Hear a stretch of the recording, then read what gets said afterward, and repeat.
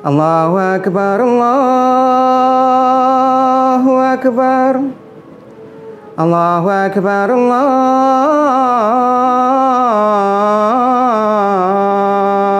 Akbar.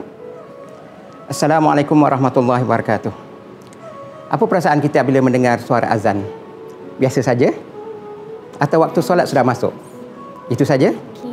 Tetapi apabila masuknya bulan Ramadan Al-Mubarak, khususnya waktu maghrib, kepada orang yang puasa ialah satu fenomena atau satu tanda yang ditunggu-tunggu oleh mereka semua. Hingga kan apabila muazin terlambat beberapa saat saja pun untuk mengundangkan azan, mereka telah mulai gelisah dan marah. Ada yang melihat jam di tangan, ada yang melihat jam di dinding, ada yang melihat jam di telefon bimbit. Jadi, tanya sama hati, apa tanda iman? Adakah tandanya pada amalan? Jika kita benar-benar beriman pada Allah dan Rasulnya, marilah mulai hari ini kita terus membesarkan Allah seperti yang diserukan oleh muazin setiap kali masuk waktu. Di waktu-waktu yang lain dan di bulan-bulan yang lain marilah kita belajar menepati waktu dan cuba menghargai waktu.